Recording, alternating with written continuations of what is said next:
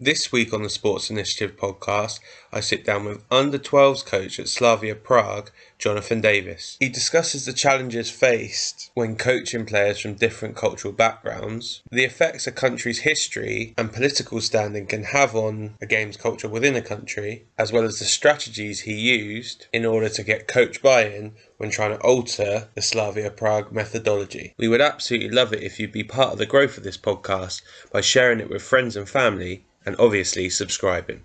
I hope you enjoy.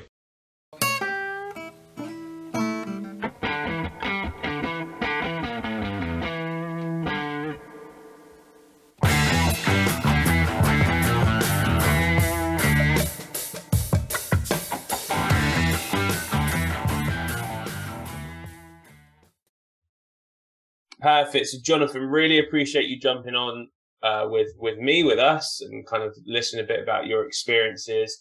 I know we caught up a little bit there, but um, sounds like all well, all all safe and good your end. Yeah, yeah. Uh, you know, I was just saying, kind of off air. You know, the the weather here in Czech Republic can be can be pretty grim in the winter, but now now things are changing, things have improved. So spring is well and truly underway, and, and summer is coming, and Prague in summer is a, a wonderful city to be be in. So especially you know when the weather's nice and you're outside on the grass, you know, coaching. It's uh yeah, it's it's a great lifestyle. So yeah, things are great here right now. Perfect, and obviously people would have picked up on there, alluded to kind of where you are, but um, for people that don't know you um, and don't know your role, do you just want to go over kind of what where you are at the moment and what that entails from a, I guess, practical context and what you're delivering, etc. Yeah, so I'm under 12 head coach at Slavia Prague um, in Czech Republic. And yeah, my, my role is twofold in the academy. The first one is, is obviously as, as head coach of under 12. So I have my own team, uh, 2010 born, um, and, and I'm head coach of that team. And then I'm also the only kind of native English speaker in the club. So my role is also as kind of like an English specialist, I guess would be the best way to describe it. So I work with my colleagues um, to improve their English ability. Uh, so I deliver conversation classes uh, to people in the stadium. So, for example, uh, technical directors, sporting directors, um, you know, scouts, data analysts, you know, uh, right up to the catering uh, management, you know, kind of every, everyone that wants to improve their English. I'm kind of like their go-to guy to, to do that. So, a uh, little bit of English teaching, a little bit of coaching. Perfect. And I guess the, the easiest question to start with is how have you ended up there? So, what kind of uh, whistle stop, if you like, but what did your journey entail to get you to the point where you are now in terms of coaching, maybe abroad, kind of leaving these shores and deciding that would be a nice fit for you um, and in your coaching career? Yeah, originally uh, I qualified as a history teacher from Cardiff University. Uh, that was around 2010, I think. Um, and I remember at that time, um, I, I kind of decided to be, be a teacher. Both my parents are teachers and, and for me, I've always wanted to travel around the world. I've always been kind of, you know, quite, quite brave in terms of, you know, the experiences that I wanted to have and, and the risks that I would take in my life. So that's very much part of my personality. So, so I wanted to travel and my parents were obviously a little bit concerned about that. They wanted me to be kind of safe and to have that safety net. So they persuaded me to to get my teaching license first. Um, and my background was was always in history. My dad's a history teacher, and I, I find it I still find it today a fascinating subject. Um, so that was that was really my start, and then after I graduated, I think a lot of graduates they go through this this kind of dilemma of not having enough experience, but then no one's willing to give you that experience. And as a teacher, you know, any kind of professional job, it's very difficult to break that cycle. So I got rejected quite a lot from from teaching interviews, and I got pretty dejected at one point. You know, I was down to like my last 300, 400 pounds moving around Cardiff, trying to find places that meant that I wouldn't have to go home uh, to Stoke, which is where I'm from originally. Um, and yeah, and then I, I, decided that I would put my CV on a teaching website. uh, teaching abroad. Um, and then within a few hours, really, it was, it was kind of surreal. There was a school, a Korean school in China, and they contacted me by by phone and and they asked me would I be interested in in going to teach English in China in a new school. Um, obviously, I couldn't speak any Chinese, didn't really know anything about China. It wasn't really on my list of of places that I wanted to visit or go to. Uh, but they offered me a job. They said they would pay for my flight, um, you know, accommodation, everything was sorted for me. And obviously, being a broke graduate, I kind of had very little choice, but also I was very excited by the opportunity. Very fortunate. Um, remember calling my parents, and my mum kind of freaked out a little bit. she was crying. She said, "What you know? What? Why do you want to go there?" And she was excited for me, but she was obviously worried, as as most mums are. My dad is a little bit kind of less uh, emotional, let's say. He said, "Why are you on the phone to us? You should just accept it. Go, you know, go and do it." You know, so so I, I decided to take that job opportunity. Uh, it was at a school in Weihai, uh, China, which is like east, east, northeast China. Um, so yeah, I flew out there. I went down to London, sorted the visa stuff, flew out to China the next week. Um, and then that's where it all really started. So I was teaching English there for a few schools over, I think it was three years I spent there in the end. Ended up meeting a Taiwanese girl while I was on holiday. Um, and then we kind of, you know, became quite serious. So I decided to move to Taiwan. Um, and then it was really in Taiwan that things started to take off for me as a coach. Um, my original break into coaching was actually in a pub. I, was having a beer with, with the owner of this British bar, uh, in, in Taipei, in Taiwan. And, uh, he asked me, you know, at the end of a night after a few beers, you know, you ask kind of these deep, deeper questions. And he said, what do you really want to do with your life? And I said, well, I'd love to be a football coach. Obviously, I loved, always loved football as a kid. Uh, even, even though I'm a Stoke City fan and, and we didn't have a lot of success back then. Um, you know, as a child, you know, I always wanted to be a football player first, didn't have the ability. So the next, next logical step is as a coach.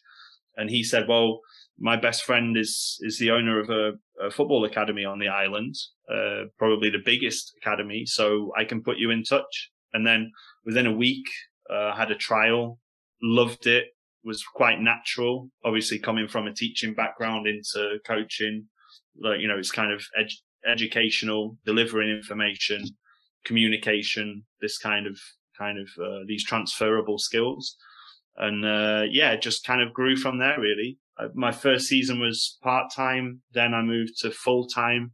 While I was part time, I, I was teaching. Uh, this obviously helped to like supplement my income which is something I recommend to all coaches, especially those who haven't played professional uh, football before. This is a really good way to travel and, and to kind of, you know, get your foundation while you're looking for coaching work and while you're gaining that coaching experience.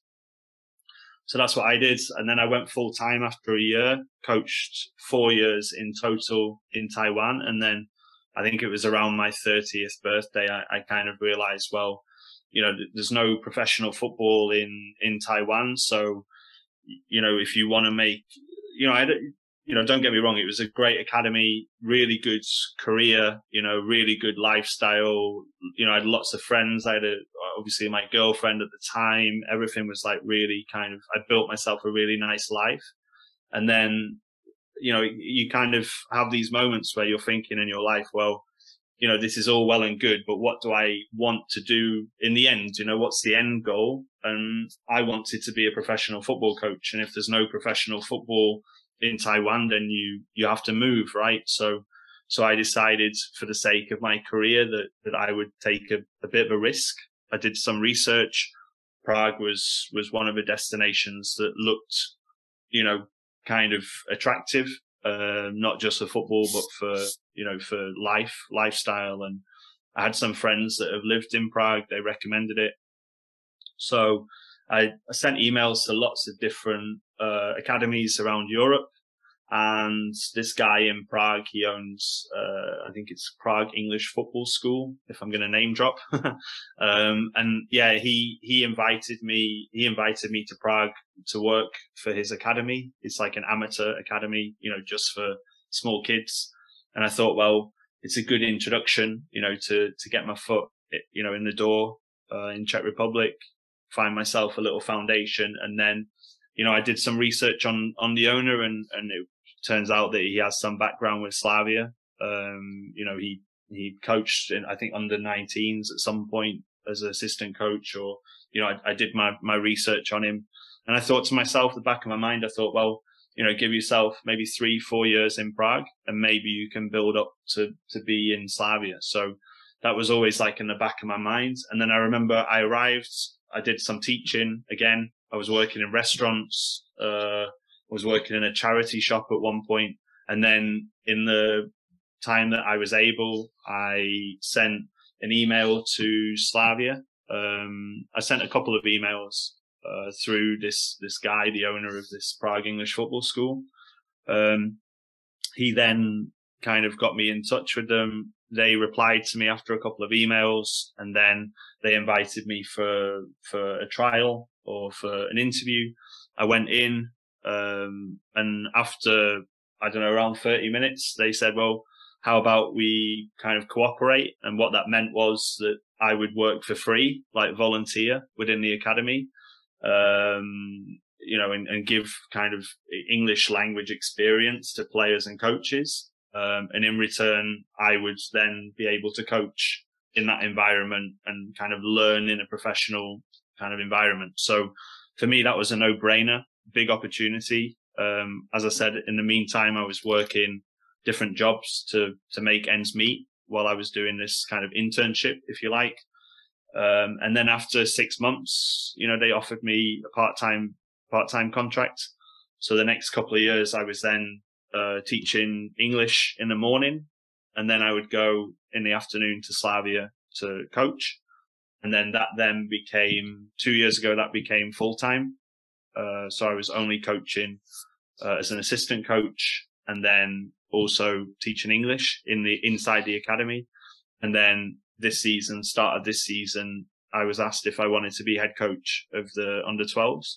And obviously, you know, in, when they first asked me, I, I kind of panicked. I didn't expect it. It was very unexpected. One of the coaches, one of, I think he was foundation phase lead. He decided that he wanted to leave the club, uh, at the end of the season.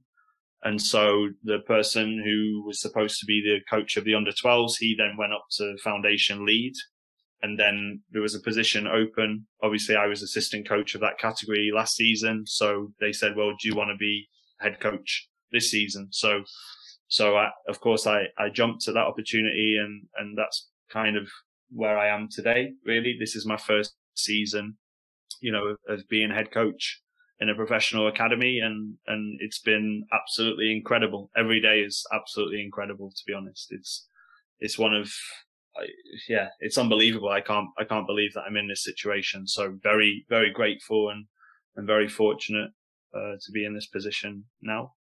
Uh, I think it's a really interesting journey. And I think it shows that, um, you know, almost not fate, but the way that if you just kind of embrace stuff, a drunken conversation at the end of the night means, oh, actually, I want to be a football coach, kind of takes you down a completely different path.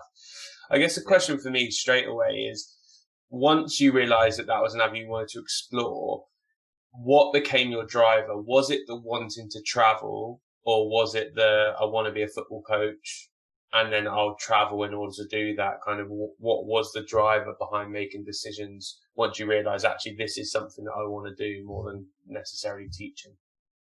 I think like in, first of all, like I was very fortunate in Taiwan because the company that I work for, they, they allowed me to travel quite regularly. Um, they gave me, you know, vacation. I, I, every three months I got like a few days where I could go and, and travel and they paid for some of the flight. So it gave me like a big opportunity to travel while I was working. And then obviously in terms of the move to the Czech Republic, then that, that was you know the the situation in my life and my kind of ambition to be a professional football coach that was the main driver behind the travel so sometimes it's the travel that's the driver and sometimes it's the job but always they go hand hand in hand i think um, it's about it's about your lifestyle and, and what you're willing to sacrifice you know? There's a lot of people will will look at my situation and, and situation of coaches who have similar kind of stories to me and and they will say wow amazing you know? They they're quite kind of not jealous but they're you know they they would they would like to be in the same situation but then also you make those sacrifices you know? The more you travel the less you put down those roots and then you miss out on for example like seeing my family you know seeing my friends back at back at home you know, kind of settling down and, and having a family, you know, having a house, having a car, you know, these, these kinds of things you, you sacrifice. So it's partly travel and, and partly, partly a job and, and your, your ambition, I guess. A little bit of both. And then strategies to cope with that, because obviously we talk about it with, with coaches and probably players. And, you know, I don't think it's an uncommon thing for coaches to move away from family to normally, okay, in the UK, it might be away for a different club and they'll come back at weekends or what that looks like. But I think the world's getting smaller and smaller. I think we're all aware of that. And there's situations with people going out to Asia or America or wherever and family being here. Have you found any particular strategies useful to deal with that in terms of being away from home for substantial periods and maybe not seeing friends and family as much? Uh, as much? Is there any ways that you've figured out ways to combat that and make it a little bit easier for yourself and for your family and friends? Um, I think like my personality is I'm quite independent anyway. So, and my, my family, we're not the kind of people who need to speak every single day. Um, you know, my, my family, they like my parents that like my dad is from Wales and my mum is from Shropshire and they they went to university in North Staffordshire in Stoke and then they met in at university and then me and my brother were born in Stoke. So that we've always kind of been away from from my grandma. Of course you know Shropshire and, and Stoke you, you're talking an hour hour and a half down the road so it wasn't far away but then it wasn't like next door you know? So we were always kind of away from from family anyway. So my I remember being when I was a kid we we didn't really settle in one place. We moved around a lot, you know, with my parents' jobs and you know, we we lived in three or four different places. So I was quite used to kind of moving around and, and not having those roots. So it's made me quite independent as a person anyway. I think obviously you've got like social media and you, and you have these kind of ways of communicating like Zoom, like, you know, like WhatsApp and, and these kinds of, you know, possibilities anyway. The one thing that I did do when I first arrived in China is obviously they have the, the great firewall of China. You know, you, you can't use a lot of the social media apps that you would in the UK. And back in 2010, I didn't even have a smartphone when I moved there. So, you know, that was quite a challenge originally. Um, especially with the culture shock of of living in China. You know, it's it's very different. And I remember the first three months, six months was very difficult. I wanted to leave, and then I had a phone call with my dad, and and we talked about you know what I would do if I went home, and kind of what the prospects were at home. And he said, "You would be stupid to leave because you you have this kind of opportunity there." You know, so you should make the most of that. You don't know how long that's going to last for and kind of I took that on board. And I remember I had the opportunity to. My boss was very kind of understanding, and he gave me the opportunity to either go home for a month and and then come back to China, or he gave me like a couple of weeks holiday to go and see other places in China just to get away from from you know the the place that I was in and yeah, with the help of my dad, I he kind of persuaded me to to do the second, you know, to take the second option. So I remember I went to Beijing for Chinese New Year, and that opened my eyes like completely to how amazing this this opportunity was and and this place was. So I think sometimes travel helps with that. It takes my mind off things. You know, when I travel to new places, it kind of helps me to not forget my family. That sounds really harsh, but it helps me to not be as homesick. I'm focused more on new experiences and less on like the familiar, if that makes sense.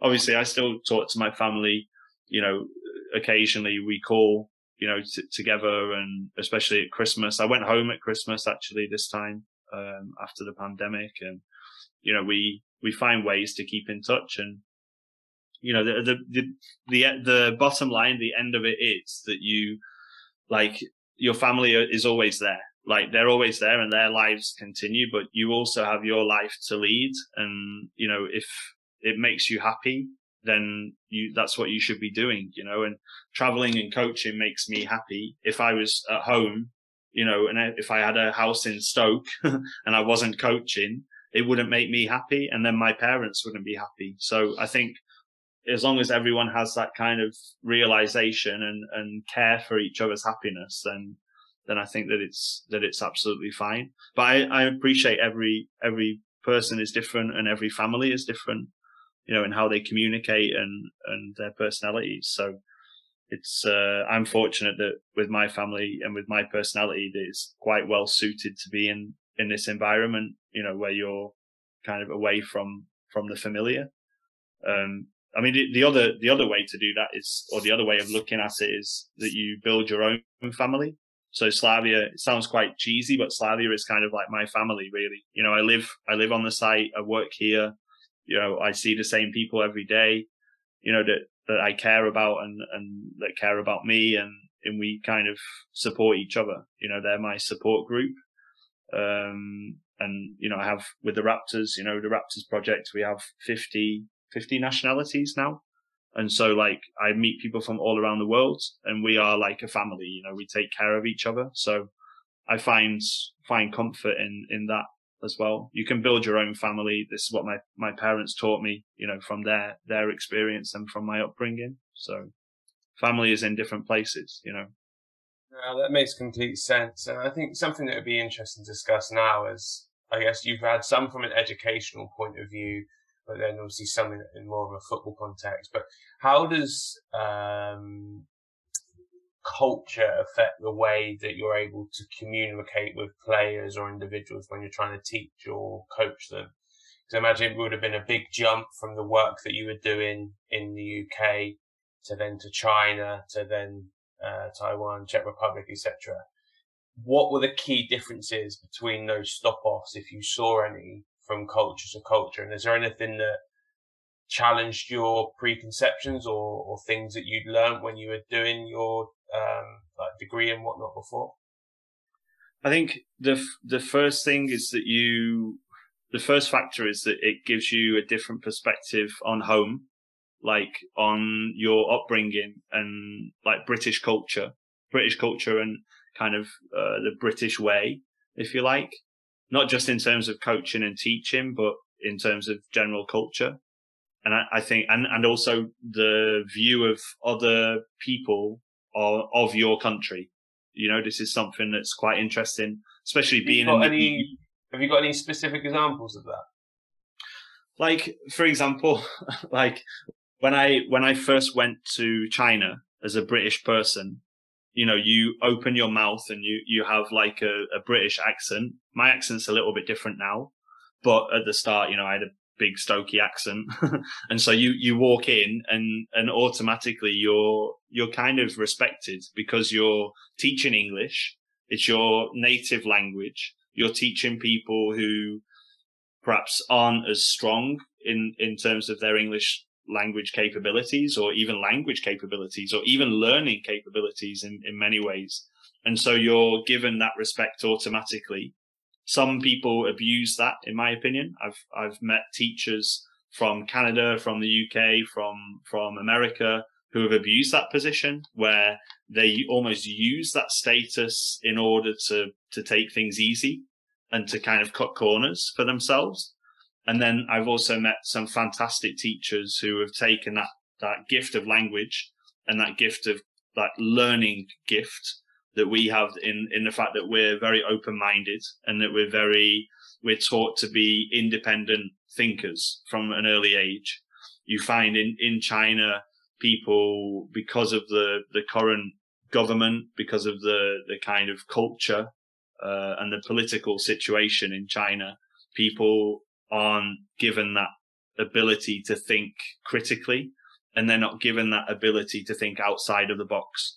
You know, your teacher will tell you this is how it is and that's how it is. There's no questioning that. There's no kind of the teacher doesn't say to you, okay, why did that happen? Or what do you think about that? It's very fact or fact in inverted commas oriented. Whereas our, in, in my opinion, our education system is more, more creative. Like the creativity is encouraged. You know, when I learned history, for example, I didn't have perfect history teachers at school, but I was lucky enough to have my dad at home as a history teacher. And I remember the conversations that we had were very different in that he, my dad would ask for my opinion and we would talk very much about history as more of a debate rather than this happened on this uh, this year or this happened at this time blah blah blah you know so coming from that educational background into into china which is more of a rigid background or, or rigid approach definitely helped me in terms of how people saw me compared to perhaps Chinese people or even Taiwanese people. So I think that educational background was really helpful for me. Um, and kind of British culture at that time, especially was, was much healthier when you put that in the context of, of the Chinese system and, and the Taiwanese system. Uh, so I, I would say, I would say that that was like a, a key cultural difference. Um, and even, even in Czech Republic, you know, Czech Republic is 30 years after communism. So their kind of approach to education and, and their approach to life is very conservative. You know, they, they don't like taking risks because taking risks in communist time was, you know, if you got, get things wrong or, or you made a mistake, it could very well lead to a very unpleasant life or, you know, unpleasant consequences. So people are very conservative. People don't take so many risks here. There's not as much ambition, for example. And in the UK, I think it's something that we're taught from a very young age that ambition and, and taking risks and making mistakes are okay. And I, I think that, that that kind of also provides some differences in the coaching process a lot of the coaches in Czech Republic, they they look at mistakes as being very negative, that they're not an opportunity to learn and, and to grow and that they're not inevitable. Whereas I think that a lot of British coaches, especially, we're taught now to embrace mistakes and encourage mistakes because that's how the learning process develops. You know, that's how the, the learning process is. So, for example, the, the coaches here, they're very command style. You know, this is how I want you to do it. This is how you should do it. And if you don't do it in this way, then I'm going to not be angry, but I'm going to get frustrated. Whereas in England, our style is more like, what do you think about this situation? How would you solve it? Okay. I think this, the coach thinks this, the player thinks this. That's fine. We have a difference of opinion, but the player is aware of the different ways to, to solve that problem the coach doesn't tell him this is the only way that you can solve it. So I think in that in that way there is another cultural difference in in the Czech Republic. Um, so I think there are many many different different cultural differences, but but in terms of those examples, there are ways in which that's impacted my my career and my work experience. I would say then I guess in a practical setting, particularly with football, because you said there is a level of creativity that's needed. You know, the top players they'll find creative solutions to get out of circumstances or creative solutions to problems. Hmm. Do you see that as an area of development within both China and the Czech Republic in terms of embracing that freedom of thought, which then allows them to solve problems. Because imagine if you do have a very prescriptive mm. um, way of working, and that's what the children, use China example, that's what the children in China are used to in terms of we're going to learn these facts and you're going to make sure that you know these facts, etc. When yeah. Something falls outside that, there's probably going to be a bit of a, a, breakdown in terms of how they're able to resolve it. So is that yeah. something that you've seen in practice in terms of maybe the problem solving element and the independent decision making element when it falls outside of a tactical or technical norm that they maybe struggle with more? Yeah, ab- absolutely, absolutely. I think you've you've hit the nail on the head, really, in, in terms of if we're talking about Czech Czech Republic. You know, in, in China, I wasn't a, a, coach, so I can't really comment on Chinese football, but I can definitely comment on Czech football. And I think that you're absolutely, absolutely right. What was interesting is that when I first came to Slavia around four or five years ago. The the coaches they, you know, we we used to go to tournaments and the there's obviously after every game there is like an evaluation period. You know, you you speak to your colleagues. Okay, how was the game? What were the good things, bad things, etc. And every single time we would come back from these tournaments and the feedback would be my players make terrible decisions. Their decision making is, is terrible. They're not creative. And it was almost like, it was like you try, there's that, the quote from Einstein. What is it? It's like insanity is trying the same thing twice and expecting different results or, or something like that. And it, it, it felt like that to me that they identified the problem, but they just kept doing the same thing, like in terms of the coaching. And I, what I think, or like my approach is very different in that I encourage creativity in my players, like actively encourage them. So, for example, if they make a mistake, I'm not on them all the time. Uh, I involve them a lot in the in their decision making process. How do you want to press today? What formation do you want to play? Uh, how about you know this is the topic today? What do you think we should be focused on? How about in this situation? How about his decision? You know, I give the questions to the players, the problems to the players. And then you, it's the key is giving them ownership of the training session. And a, a big, when things go wrong in, in my trainings or in my games, my go-to question to the players is, guys, is it my training session or is it your training session? And when the players realize that it's their training session, then they, they are responsible for the decisions that they make. They are responsible for, for the results of those decisions, the consequences of those, those decisions. They are responsible for their behavior. And in this way, you create independent thinkers and you create an active learning environment. If the coach, if the players think that it's the coach's training session, it belongs to the coach, then in in that way, it's only a one way process, and the players then switch off, and they they're not actively engaged with with the concepts and the principles that you're trying to get across to them. And this is also something that I I realized is that there was a lot of frustration in the coaches here when I arrived. Well, you know, they, they would say to me things like, well, I've told him a million times and he keeps doing the same thing. He's making the same mistakes. And don't get me wrong. I'm not saying that that's what they did and that's what, you know, I, I was perfect. I did the same, same as well. You know, this is my first professional coaching experience also. And so like it would get to a point where I would say to them, well, why, why do you think that that's the case? You know, like, and the, the end result of that was that for example, coaches here don't use tactics boards to get across the information. When they uh, coach, they don't stop the game. The intervention is very limited here. It's all about ball movement, ball time, which for me, okay, there is a debate that the more the ball moves and the more the player touches the ball, the, you know, the, the better he will be, but it has to be within some context. You have, it's, for me, it's about the quality of the time, not the quantity we have two mm. hour training sessions in Slavia, which means we're very fortunate. A lot of clubs only have an hour or an hour and a half. We have two hour mm. sessions, which means that you can squeeze out a lot of quality. Even if out of that two hours, you only get an hour and a half of ball time, that's still an hour and a half of absolute quality where the players have got a lot of information. And so, like we talked about like the style of the coaching, like interventions, using different ways to get across the message. So like video, we got now we've got two Veo cameras. We've got uh, Panoris. I think it's uh, installed in one of the grass pitches that we have at the academy. So you know we're recording training sessions, uh, matches, and we're analyzing, doing a lot more video analysis than we ever used to. We're using tactics boards for me, it's really important because my language is English and the players are Czech. So it's in their second language. I'm showing them, you know, physical demonstrations. The ball is moving. They are moving. You know, these, these types of like learning styles, you, you've got to hit all of them in order to get the success that you want from the players.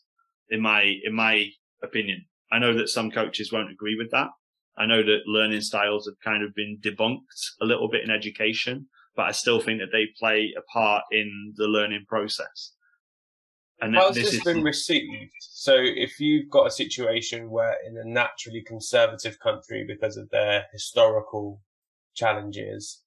And then you're coming in with this way that probably goes against the grain slightly. It probably isn't, the players aren't used to it. Parents probably aren't that used to it. Neither are the other coaches. How mm. was that received? And how did you go around challenging individuals to say, well, this might be a way for us to improve that decision making or improve on areas of the game that we're currently not so great in?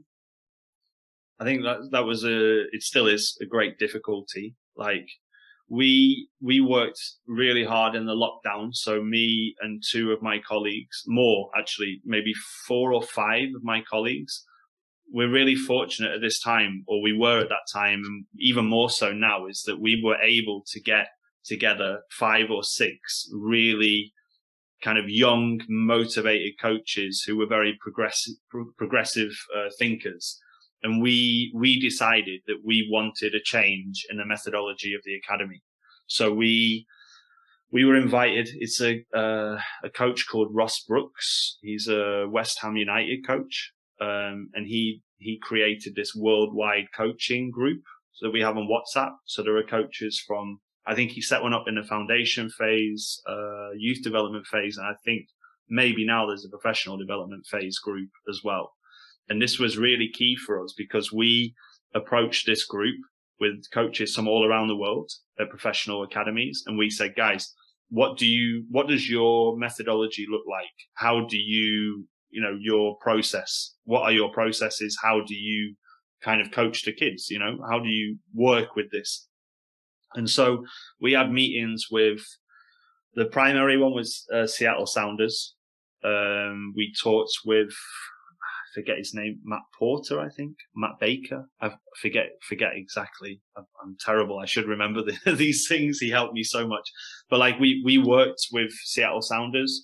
We had a, a conference, like a Zoom conference with them, with uh, with Matt, and then also with five or six of my colleagues, these these coaches that wanted to improve things. And we sat down with him for around an hour and a half, two hours, and I can honestly say that it's probably the most important two hours of my life so far because every single one of us after this presentation where Matt presented Matt Brewer, his name is not Porter or Baker, Brewer. I knew it was a job. yeah. And anyway, so he, he kind of, uh, presented the methodology of, of Seattle Sounders and he showed us like how they operate. And after the two hour call, we then had like a private call with the Slavia coaches and it was just silent for about 10 minutes. Everyone was like, they couldn't believe what they've just seen. And so obviously I, I knew that a lot of this existed before, but not in that much detail. But for these guys, that was the first time they'd ever seen something like that. So it's almost like in answer to your question, you know, how do you persuade them or, or, how do you work, work with that? How do you get that message across? I think in many ways it's about proving something. If you can prove that other academies have success with this and that this is how they operate, then you're showing your colleagues that this is how they should be doing it. You know, it's not just coming from me as one coach. It's coming from big academies around the world. And so after that two hours, we sat down uh, to speak about it. Like I said, our minds were blown. we were absolutely destroyed mentally after that. But we then set about using the time that we had in lockdown to develop a new Slavia methodology in the academy. And we ripped it up from top to bottom, like completely ripped it up and we started again and we created a periodization. We created uh, this methodology with topics, with coaching points. You know, coaches who are listening to this now will will be amazed that that we we didn't have that before because this is something that's a foundation of every successful academy. And so we decided that we were going to rip everything out. We we started with this new new process, this new methodology, new philosophy, everything um, and this was, like I said, in lockdown. And this is the first season where we've actively started to use this methodology. And so now we work with topics. You know, the periodization means that the topics are built together. We've got a, like an identity now, a style of play who go, that goes from under six all the way up to under 19 B team. And we're in the process now of refining that methodology but we also have to take the video video uh, recordings of the training sessions as part of the process because we are almost trying to convince everybody in the academy that this is the way forward. And the only way that you do that is by showing them active results. Look at this video of this game. Look how this connects with the methodology. Look how the training session connects with the game. And it's almost like you're proving, you have to prove yourself and the methodology. And my feeling now is that it's proved. I think everyone's on board with it, but we're now refining the processes to make sure that it's suitable A for Slavia and B for the players that we're, we're getting from the schools and that it fits properly with the Czech education system so that we're able then to make the process more and more efficient. Did you feel pressure on that? Because I'd imagine if you know you, you you went and had all these talks and discussions and meetings and stuff, and then in the first six weeks, eight weeks, you're getting battered every week at every age group because you're trying to play out from the back where previously we're going more direct, or your players are trying skills in their own box and losing it and conceding goals. You're probably yeah. going to get some coaches are going to go, "What are we doing? This is a complete sham." Did you feel pressure to see some success early on to kind of show that actually this this is aligned with what the top clubs are doing. And look, we're doing it and we're getting success from it and it might produce us a better style and standard of player moving forward. Yeah. Yeah. I, I think, yeah, I, I think to start with, I mean, even, even now, like, I'll be honest, you know, we, we went to Poznan. We went to play Lech Poznan a few weeks ago, my category under 12, and we got pumped 9-0 in the game. And uh, the under 13s, I think they travelled with us. Uh, they lost, I can't remember, by six or seven goals.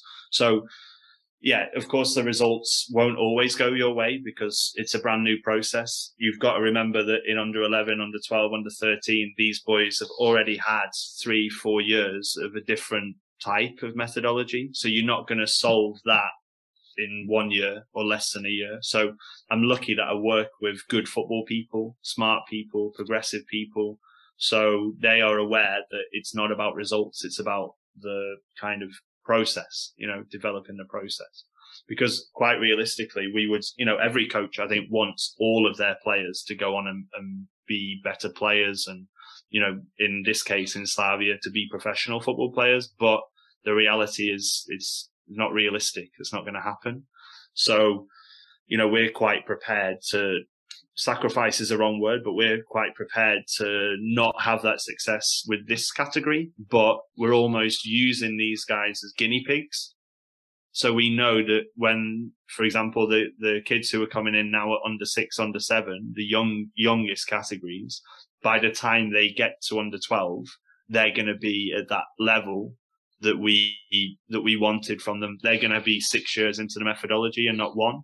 So we're almost playing catch up with the guys that we've got now, but it's using this time to practice and refine what we're hopefully going to have for the under sixes when they get to this level in six years, six years time. So and you mentioned you mentioned in terms of it fitting in with the educational system. So I kind of got two questions. That one, what does your working week actually look like? So how does it fit around what they well, what schooling they're doing? When do you train? When do you play games? What does kind of a working week look like? And then secondly, and this one might be harder to answer, is how does it impact the players fluctuating from one maybe methodology to another? Because if you have them at school where it's very structured, as in, you, I don't similar, you might be seen and not heard. The facts are the facts. You listen, be quiet. And then you guys are coming in with this open ended questions. How do you feel? What are your thoughts? they mm. could go from a morning of one to an afternoon of the other and it's like flicking back and forth from from time to time which could be challenging so i guess yeah the first one is what does it look like for your academy how does it actually fit and the second one how have you seen the players cope with that flip flop between the two like the the first thing is so we work um we work on a basis so with with my team with the under 12 so we train four times a week uh, we train from two till four o'clock in the afternoon. Um, and then matches are on Saturday and Sunday, usually, depending on the tournament. Sometimes we have league matches within the Czech Republic. Sometimes we travel to other countries for tournaments. Uh, it depends really what we want. Like it's up to the head coach to decide.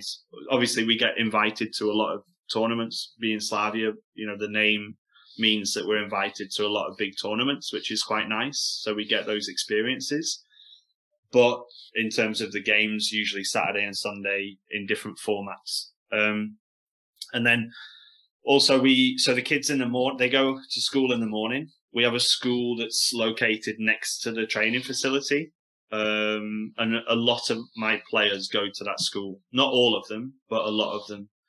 Uh, the ones who go to the school, they also have, sometimes they have morning sessions, uh, which are like PE classes. So, for example, on a Wednesday, my boys in the morning, they will have like an athletics uh, class, and that will be taken by our athletics coach who works within Slavia. Um, and I will also be there to to kind of help and to watch and and just to interact with with the players. Um, we have on a Tuesday we have a technical skills coach uh, who works with different categories throughout the academy and he comes on a Tuesday morning and he delivers a technical skills session to these kids who are in the school next to the academy. Um, and then on a Thursday, the first half an hour of the morning session is with a conditioning coach. So he comes in and he does like different, different movements with them. So for example, he works on their reaction, coordination. Uh, he's been working on like their squat form, I guess you could say different different types of movement, strength, power, these kinds of kinds of things. So we also do a lot of you know uh, different types, not just football related, but also sports in general. Um, we have on Friday morning the players do gymnastics as well within the school. We have a gymnastics coach. He comes in for an hour and, and does gymnastics with them.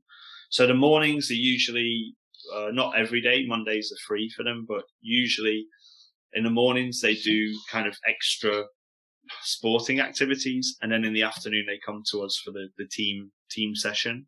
We have tuesday and thursday uh, we have a goalkeeper coach who comes in works with our goalkeepers for the first usually first 30 minutes to an hour of the session depending on what the head coach allows or wants depending on our plan. We we send our goalkeepers away with the goalkeeper coach. Um, and then yeah, that's that's pretty much pretty much the the structure. So we're like I said to you before, you know, we're we're very fortunate that we have a lot more contact time with the players than other clubs. Um, and really, it's about getting the most out of that contact time uh, with with the players. So every session is two hours, and then they also have the the extra session, like I said, in, in the morning. So in, in terms of the structure, that's that's how we operate. Um, and then your second second question is, is, quite interesting for me.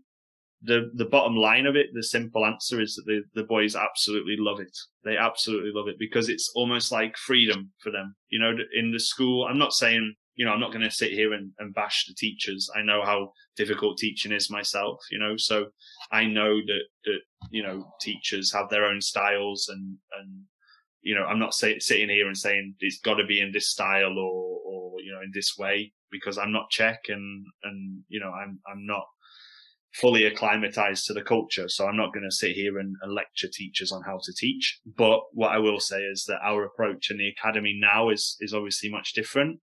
And we've, we've had regular feedback from the players. We sit down with them, especially when we go to like winter camps or summer camps or, you know, any training camp. We'll sit down with them and, and we will ask them one to one and, and together collectively. What do you think about the training process? What do you think about, you know, the training sessions, the methodology, you know, and one of the things that's quite interesting is that the that my players they're very smart they're very very smart you know they they talk about what it was like before with previous coaches what it's like now they can compare the training sessions of both coaches they can kind of talk about the positives and negatives. And it's been an overwhelmingly positive response from the players. And I think in any youth football in professional or amateur level, the enjoyment of the players is always paramount. You know, with with kids, and one of the things that I'm really really happy about is that the players absolutely love it. And the, the one the one thing for my players that they get is that obviously all of our sessions are in English, so the players are very you know they they love speaking english because it's different because they know that it's healthy for them in terms of their prospects later in life because it's a challenge for them these players you know there's a reason why they're in a professional football academy because they have the character that they want to improve themselves that they want to they, you know they have ambition and so it's really a special environment in my team that the players that you know they love the methodology they love the fact that that we as coaches value them you know, that we value their opinion, that we value their ability. I tell them all the time that they're, they're great. You know, we're positive with them. I say, guys, when I was a kid, I didn't have an inch of the talent that you've got now. You know, I'm in awe of their talent sometimes. I tell them that. I think it's important that they hear that. You know, from a lot of coaches, they, they work not negatively, but they focus a lot on the negatives because they think that the players already know how good they are and they're almost bringing them down all the time. But you've got to remember that these are young kids. They don't know how good they are. They don't have the context. You know, they probably go home and maybe some of their parents are telling them, Oh, that wasn't good today. Or I saw that in the game. That wasn't good. Maybe even as coaches, we say to them, mate, that wasn't good. Or, you know, you need to improve that. Or, you know, so I think it's really underrated and it's so easy as a coach that you turn around to them and say, mate, that was amazing. Or wow, what a goal. Or, you know, I can't believe you did that, or you're so talented. You know, the the players they have to they have to understand that. You have to give them confidence in that way. And I think that the methodology gives them that confidence because we're giving them a lot of information and a lot of principles.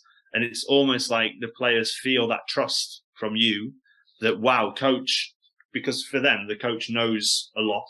You know, he, he's kind of above, he's an authority and the coach trusts me enough to give me that information and that knowledge.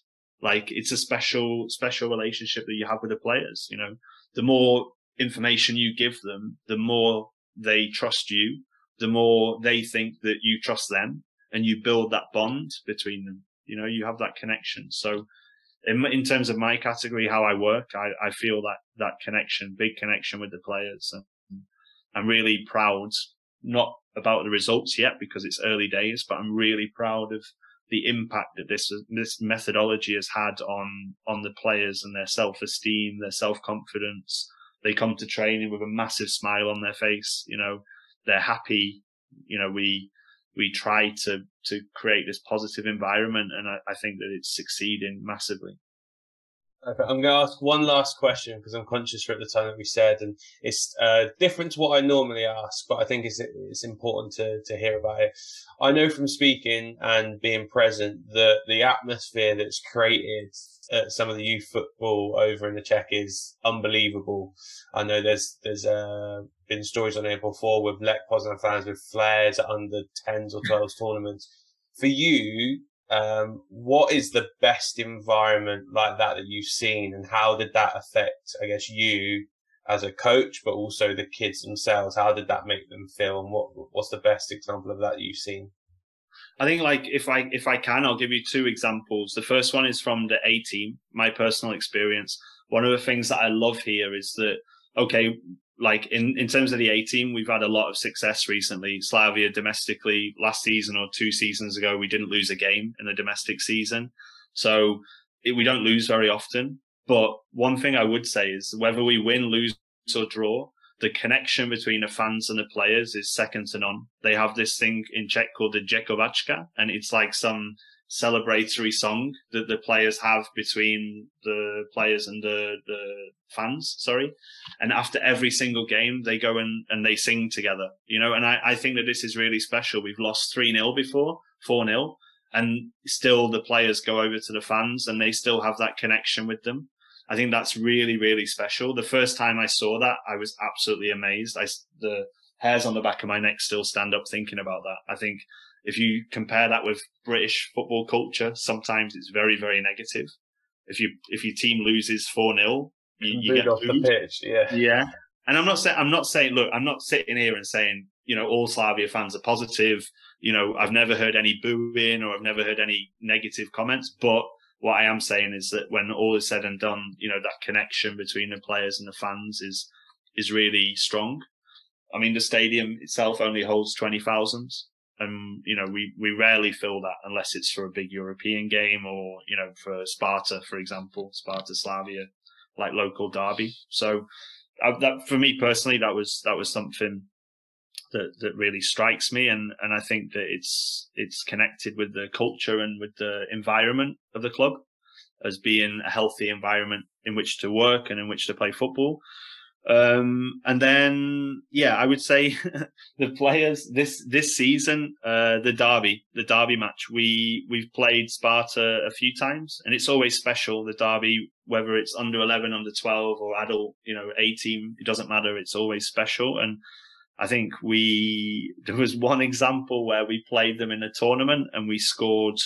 We won like three one, I think, and we scored. One of my players, he scored this amazing goal from from far away, and he went over to the the Sparta parents with his arms out, like celebrating in front of them, and I just thought that was amazing for like an 11 year old kid to do that.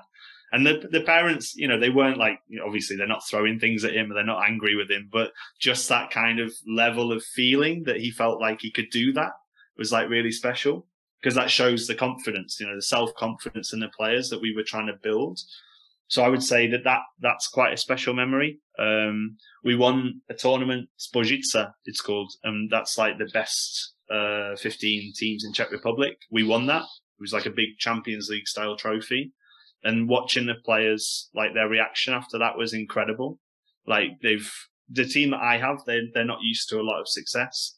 They're not like one of the standout categories in the academy, or they weren't before. So when they win stuff, it's special for them. You know, they, they haven't had that experience before. So that was earlier this season as well. And then finally there was a goal that we scored. I put it on my social media actually. Uh, it was a couple of months ago against Sparta and I think it was like 11 passes, but it was like two or three switches of play. Uh, and then the player, same player who scored earlier in the season and kind of went to the parents, he he hit this one from around 20, 25 yards in the top corner after this great team move. And for me, that was really special because it was almost like a realization of everyone that this methodology works and that the, the players are able to do it.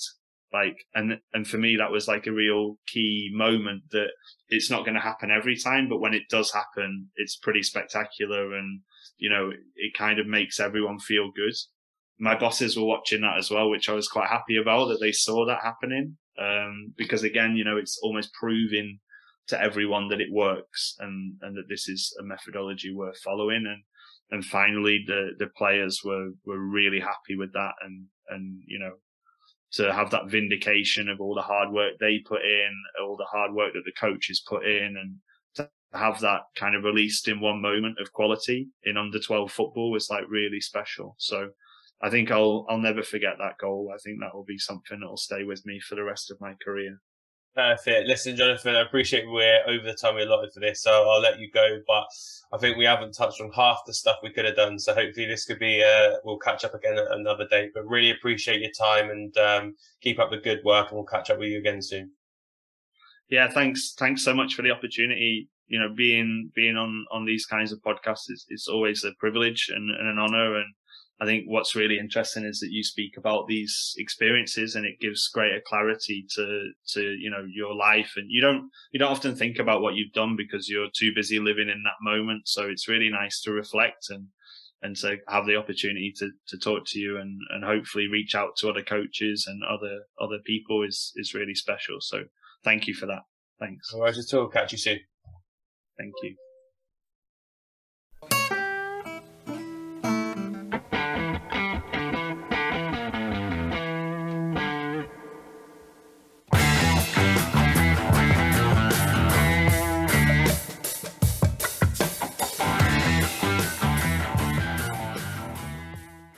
Thanks for listening to the Sports Initiative podcast with me, Michael Wright. Please remember to follow us on Twitter, Facebook, and Instagram at the Sports Initiative Podcast and share this podcast with friends and family. I'll see you next week.